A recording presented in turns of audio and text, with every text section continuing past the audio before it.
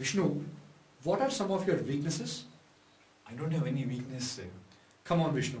Everybody has a weakness. No, you got to tell me at least one weakness of yours. Under pressure, uh, I become angry, sir. And then you beat people also, right? Not always.